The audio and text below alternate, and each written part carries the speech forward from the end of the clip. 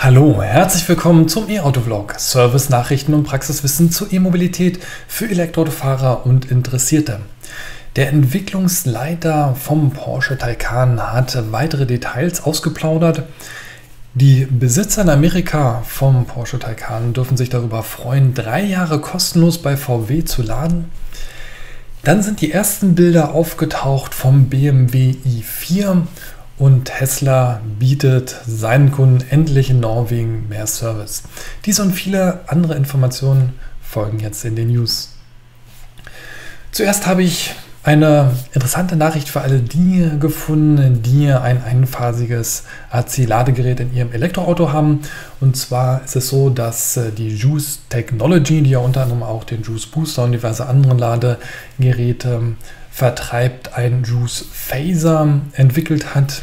Ich habe erst gedacht, wow, was für ein cooles Gerät. Dort kann man, wenn man ein einphasiges Ladegerät hat, zum Beispiel in seinem iPace, Kona, eNiro, Ionic und, und, und, deutlich schneller laden als vorher.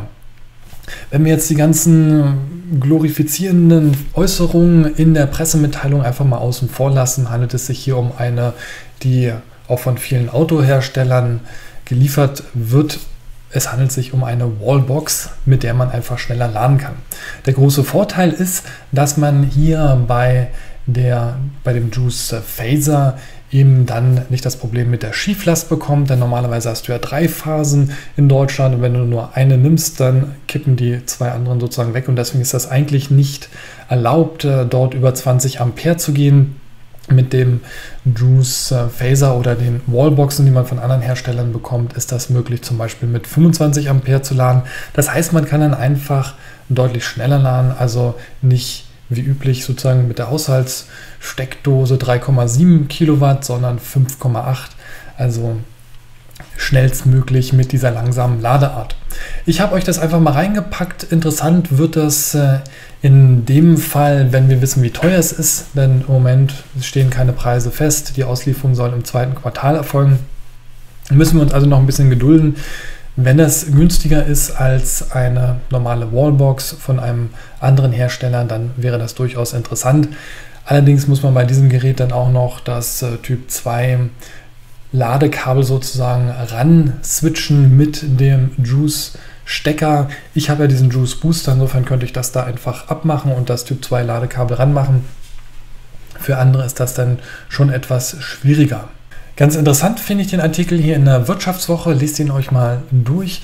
Unter dem Video in der Beschreibungsbox findet ihr wie immer die Links zu den ganzen Artikeln, über die ich spreche. Und zwar geht es hier um die Mythen der E-Auto-Kritiker. Das große Problem ist ja, dass es viele Informationen gibt, viel gefährliches Halbwissen, was dann auch immer noch weiter verbreitet wird und sich dann zu einer Meinung formt, zu einem Bild formt, das so gar nicht existiert oder nicht stimmt. Und in diesem Artikel von Stefan Hayek wird in der Wirtschaftswoche nochmal ganz deutlich die Themen oder werden die Themen ganz deutlich besprochen, die so diese typischen Mythen sind, so nach dem Motto, das Elektroauto ist dreckig, äh, es fährt ja mit äh, Kohle- und Atomstrom, was das letztendlich wirklich bedeutet für die Umwelt und und und. Also ein ganz interessanter Artikel, der geht über drei Seiten. Lohnt sich aber auf jeden Fall, den durchzulesen, um sich mit den Mythen zu beschäftigen. Denn je mehr du dich zu dem Elektroauto bekennst, wenn du es eins fährst oder darüber nachdenkst, eins zu kaufen, desto mehr wirst du mit diesen Mythen konfrontiert werden. Und das ist einfach wichtig, dass du auch mal einen anderen Blick äh, bekommst, um dann in die Diskussion einzusteigen.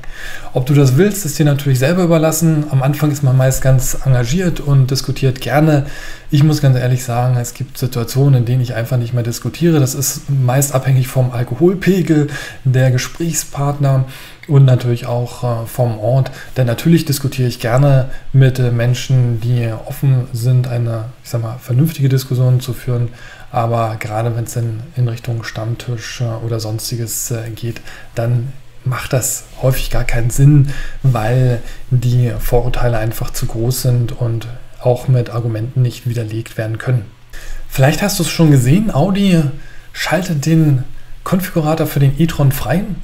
Ich habe mir natürlich auch einfach mal meinen e-tron, ich sag mal in der Sparversion zusammengesucht, denn ich wollte ganz gerne wissen, was kostet er minimal. Und was habe ich reingemacht? Ich habe da wirklich ganz wenig mit reingemacht, also eigentlich nur die Sitzheizung und die Vorklimatisierung, das finde ich sehr wichtig. Und äh, dann noch die Anhängerkupplungsvorbereitung, denn ich denke, so ein Auto, was ja so in Richtung, ich sag mal, Kombi, SUV, Crossover, Anhängerverschnitt äh, geht, muss einfach eine Anhängerkupplung mit dabei sein. Da ich sie persönlich jetzt nicht brauche, habe ich zumindest die Konfiguration so gewählt, dass man sie im Nachhinein dann günstig äh, anbringen kann. Und das Interessante ist, ich lande da so bei 81.000 Euro. Insofern kann man den Audi e-tron auch recht äh, günstig konfigurieren. Es muss nicht sofort immer die 100.000 Euro sein, denn der Basislistenpreis beginnt bei 79.900. Und was ich in den Foren gelesen habe, die ich zu dem Thema durchsucht habe, ist, dass man auch durchaus hier verhandeln kann. Ein gutes Argument, was man hier mitbringen sollte, ist ja die schlechte Ladeinfrastruktur. Gerade für den Audi-Verkäufer natürlich das äh, rote Tuch, wenn der Kunde sagt, ja, aber wo soll ich laden? Dann kann man hier durchaus Preisnachlass im einstelligen Bereich äh, bekommen. Also es lohnt sich hier zu fragen, und äh, insgesamt äh, scheint das Auto sehr komplett zu sein. Björn Nüland hat es ja schon ausgiebig getestet, hatte bisher jetzt einen Maulkorb. Der Maulkorb wurde zum Teil von seinem Mund genommen. Das heißt, seit heute Vormittag darf er sprechen. Also sprich, das erste Video ist raus zum Verbrauch. Dort ist er bei 90 Kilometer pro Stunde im Winterbetrieb, es waren so minus 5 Grad, schneenasse Straße, also nicht frischer Schnee, aber immer halt so das typische Salz-Schneegemisch, ist er 330 Kilometer weit gekommen. Also das heißt, der Wagen hat eine durchaus äh, interessante Reichweite. Viele Tests äh, kommen ja so auf 30 Kilowattstunden pro 100 Kilometer. Verbrauch hängt natürlich immer von der Fahrweise ab. Also insofern kann man damit rechnen, insbesondere aufgrund der hohen Ladeleistung, die der Audi hat und der großen Puffer, die sowohl oben als auch unten in der Batterie eingebaut worden sind, dass er relativ lange schnell lädt und man dementsprechend mit dem im Verhältnis zur Bruttokapazität recht kleinen Akku dann doch äh, vernünftig schnell vorankommt. Wie das dann in der Praxis aussieht, müssen wir einfach sehen. Ich werde natürlich dann auch äh, Langstreckentests äh, machen, um zu sehen, wie der e-tron sich in der Praxis dann schlägt. Alle, die sich für den Porsche Taycan interessieren, werden sich darüber freuen, dass jetzt der Leiter des äh, Elektroprojekts Taycan in Norwegen, und zwar Stefan Weckbach heißt er, gegenüber den Vorbestellern in Norwegen insgesamt sind sogar 3000 dort, schon einige Fragen beantwortet hat. Und insofern steht es jetzt relativ sicher fest, dass er 90 Kilowattstunden Kapazität und einen 22 kW Lader an Bord haben wird. Das finde ich richtig gut, dass hier beim AC-Lader nicht gespart wird. Und ich kann nicht häufig genug sagen, wie wichtig das ist, dass AC schnell Laden möglich macht, also mit 22 kW. Und nicht diese ganzen Einphasenlader, die dann, dann nur irgendwie mit 6,2 oder die drei Phasen, die mit 11 kW laden. Hängt natürlich immer von der Akkugröße ab, aber bei diesen 80, 90, 100 Kilowattstunden Akkus ist 22 kW einfach sinnvoll. Und dementsprechend freue ich mich natürlich sehr darüber, dass äh, der 22 kW Lader an Bord sein soll.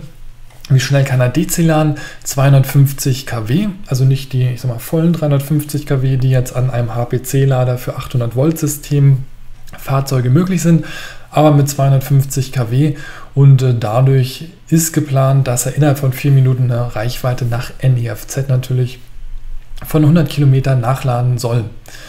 Also insofern klingt das ganz interessant.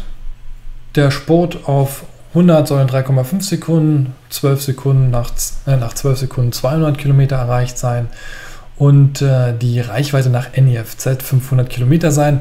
Also das heißt, wir reden hier in der Praxis, denke ich mal, so von 250 bis 300 Kilometer, je nach äh, Fahrweise natürlich.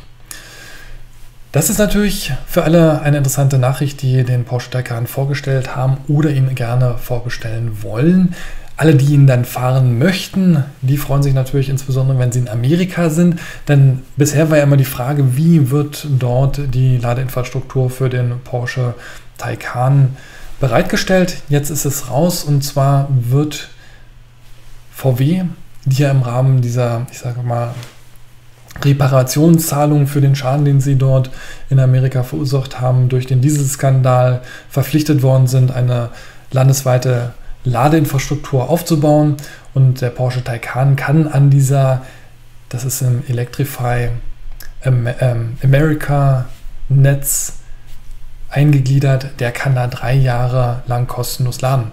Also es ist so ähnlich wie hier in Deutschland und Europa für die frühen Eigentümer vom Tesla Model S oder X, dass sie halt auch entsprechend einige Zeit kostenlos laden können. Erste Bilder vom BMW i4 sind aufgetaucht.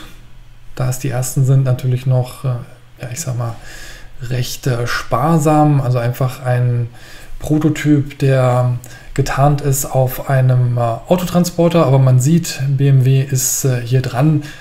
Wie ihr vielleicht wisst, der i4 soll ja erst 2021 kommen, also insofern ist auch noch genug Zeit, dass das Fahrzeug dann getestet und vorgestellt wird.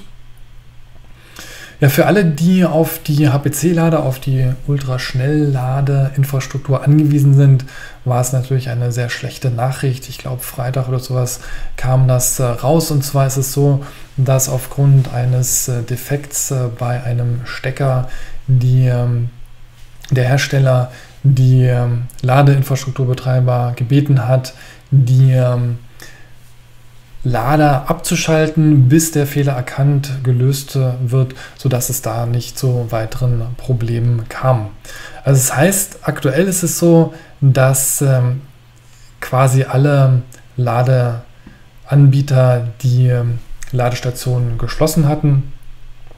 Und äh, insofern hoffen wir, dass jetzt äh, demnächst hier wieder die äh, Lader offen sind, damit man halt entsprechend schnell laden kann.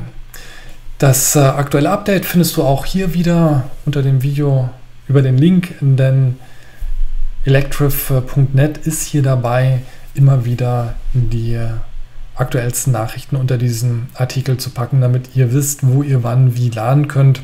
Ich hoffe, dass ihr davon nicht betroffen seid. Ja, vielleicht habt ihr das Video von Björn Nyland gesehen, der einen ganz normalen Servicetermin für seinen Tesla Model X im Dezember hatte. Hat äh, den äh, Termin, ich glaube, das wusste er selber nicht so genau, im August oder sowas vereinbart. Also das heißt, mit vier Monate Vorlauf wurde der Termin gemacht und er hat insgesamt dieser normale Servicetermin über vier Wochen gedauert, bis dann endlich sein Fahrzeug fertig war. Es gab auch nicht ein Ersatzfahrzeug, weil keins da war. Also um es kurz zu machen, der Service von Tesla ist in Norwegen katastrophal. Dementsprechend ist es natürlich eine gute Nachricht, dass Tesla hier die Servicekapazitäten aufstockt. Also es sind 360 Neuanstellungen gemacht worden. Das heißt, die Service-Mitarbeiter haben sich verdoppelt und die Zahl der Service Centers auf 13 erhöht worden. Hier folgt man sozusagen den ja, großen Anforderungen, den Problemen, die es bisher gab und versucht sie so zu reduzieren. Es gibt natürlich auch noch äh, weitere Pläne für weitere Service Center und auch den Einsatz von mobilen Servicefahrzeugen. Insgesamt sind natürlich in Norwegen im Verhältnis zu den Einwohnerzahlen, Autozulassungen extrem viele Tesla unterwegs.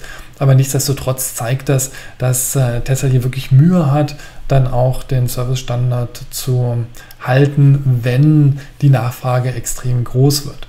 Aktuell ist es ja so, dass es vielleicht auch eine ganz gute, ja, ein guter Punkt, dass das äh, Tesla Model 3 in Deutschland nicht in so hohen Stückzahlen gleich zum Start verkauft worden ist, wie das ursprünglich vielleicht angenommen worden ist.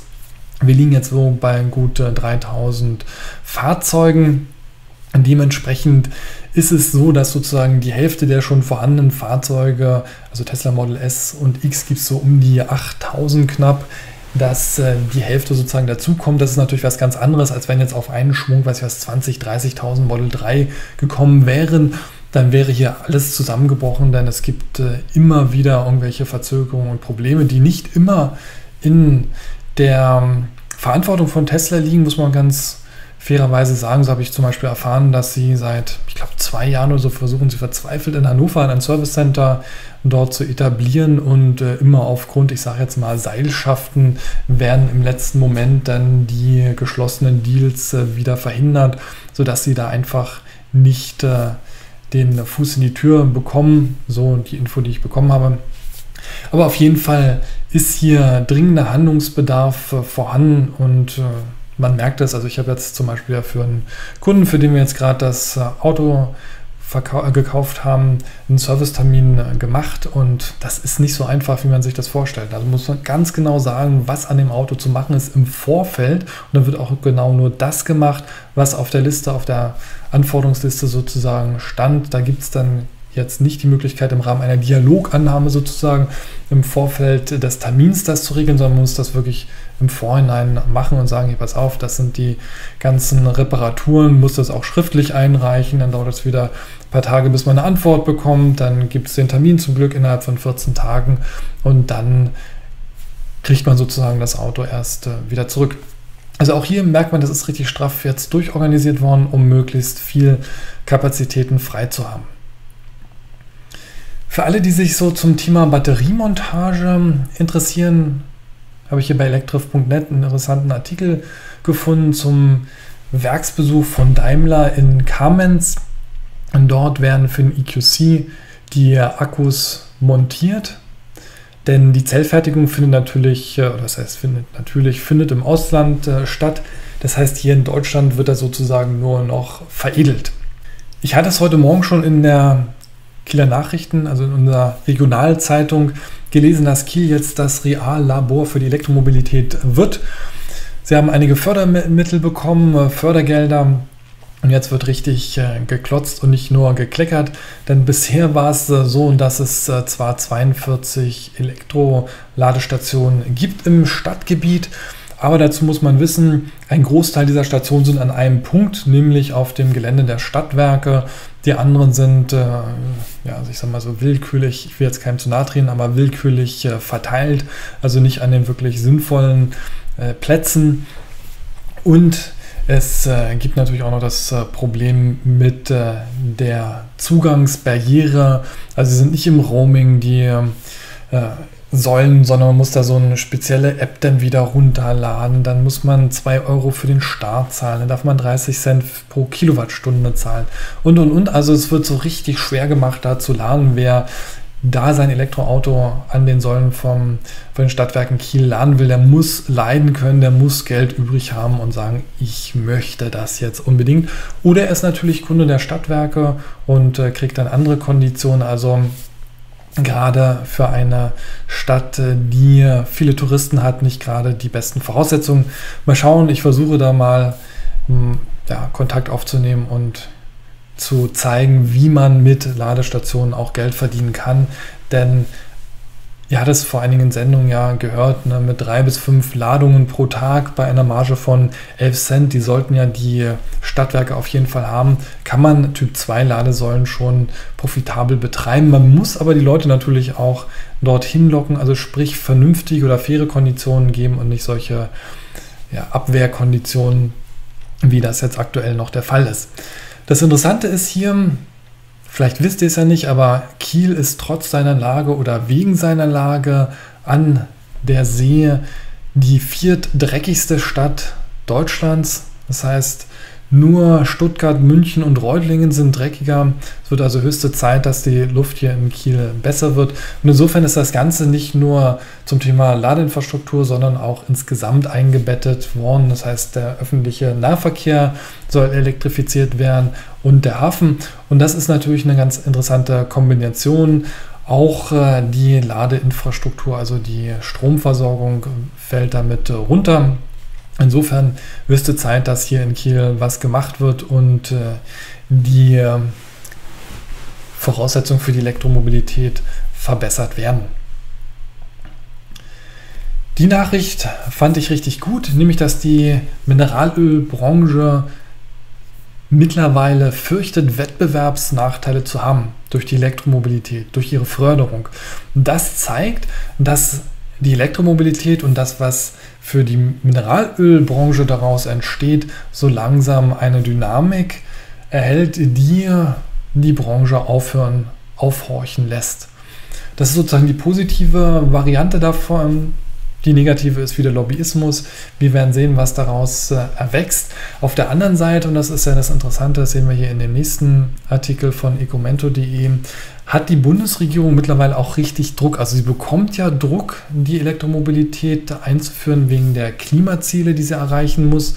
Und auf der anderen Seite bekommen natürlich auch die Unternehmen Druck durch den äh, Flottenverbrauch und dementsprechend gibt es jetzt hier eine, ich sag mal, Machtverschiebung oder Interessenverschiebung im, in den verschiedenen äh, Branchen. Und äh, vielleicht läuft es darauf hinaus, dass die Mineralölbranche dann irgendwann nur noch das Mineralöl zur Verfügung stellt, um daraus äh, weitere Produkte zu entwickeln und es nicht äh, einfach nur, ich sag mal, in Anführungsstrichen sinnlos äh, für das Fortkommen zu verbrennen, sondern eben halt dauerhafte Sachen daraus äh, zu machen, weiß ich was, wie Plastik oder sonstige Gegenstände also insofern ist hier nach meiner Einschätzung jetzt gerade so ein Wandel, der eingeleitet wird und äh, dementsprechend äh, bin ich gespannt, wie sich das äh, entwickelt. Auf jeden Fall fordert hier auch der Verkehrsminister bessere Ladetechnik, denn sein Argument ist, ohne eine entsprechende Ladeinfrastruktur werden wir keine Elektroautos verkaufen. Wenn wir die Elektroautos nicht verkaufen, dann wird das teuer für Deutschland und für sein Unternehmen und kostet natürlich dann auch entsprechend Arbeitsplätze. Ja, soweit zu den heutigen News. Ich hoffe, sie haben euch gefallen. Ich fand, da waren ein paar sehr interessante Dinge mit dabei. Wenn ihr Fragen habt, wenn ihr Anmerkungen habt, wenn ihr Kommentare habt oder auch Korrekturen, freue ich mich darüber, wenn ihr sie unter dem Video einfach hinterlasst. Und wenn ihr gerne den Kanal unterstützen wollt, dann könnt ihr das machen, indem ihr ganz einfach hier auf das Elektroauto im Point of Interest klickt und die Benachrichtigung einstellt. So kriegt ihr die Information, wenn ein neues Video rauskommt. Ich kann euch versprechen, morgen kommt das nächste auch wieder ein Video aus der Kälte, aber es geht nicht um Camping. Ich freue mich, wenn wir im nächsten Video uns wiedersehen. Bis dann, dein Dirk Henningsen.